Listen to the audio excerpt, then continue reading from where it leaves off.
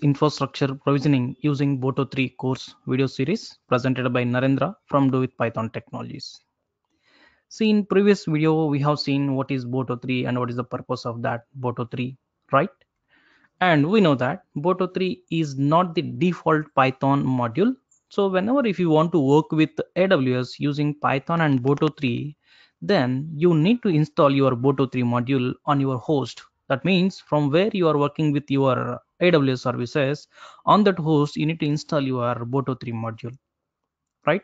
So here we are going to see how to install Boto 3 guys whether it is uh, Windows or Unix or any operating system right? You can simply use our pip install Boto 3 right?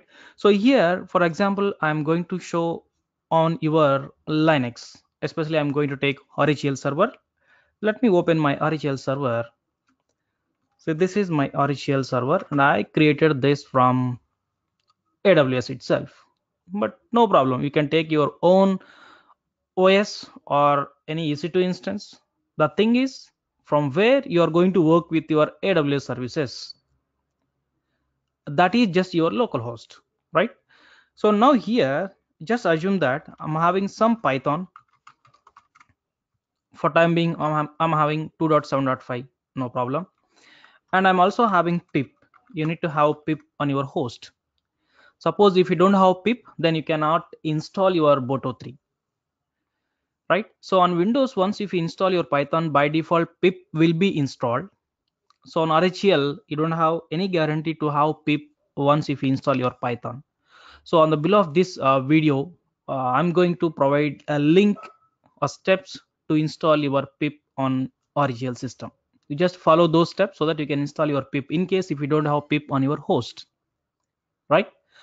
Okay and before going to install your boto 3 just i want to into enter into my python terminal. There i want to check whether boto 3 is there or not. See let me check it. I don't have boto 3 and even i don't have boto core also right? Now see the magic so you need to have root privileges. You can use sudo or directly you can enter into root and from there you can install right? So i'm entering into root. So now from here i'm going to install my boto 3 so install boto 3 right? Yeah just now it has been installed. Now let me enter into my python shell. Now i'm trying to import boto 3 yes. Now you are not getting any import error means now you are having boto 3 on your host. At the same time i'm also importing boto core. See that? So previously you don't have boto core and boto 3 but just now we installed boto 3 but boto 3 by default depends on boto core. That's why it will also install boto core. So whenever if you do pip install boto 3 first it will install boto core. On the top of that it will install boto 3 right? Simply boto 3 will depends on boto core module. That's it. Right? So guys this is the way how to install your uh, boto 3 on your host. Same command you can work with even in your windows as well. Okay? The one point you need to remember that is in case if you don't have pip on your host you need to install pip first on your host. Right? So anyway once if you install your python on windows operating system by default your pip will also install. But whenever if you are working with rhel right you may not have your pip on your host. So for that i'm going to give steps on below of this video. Just go through them and you can install your pip. Okay? Okay guys. Thank you for watching this video.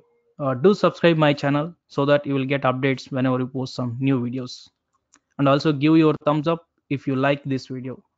And you can also share this with your friends. Okay bye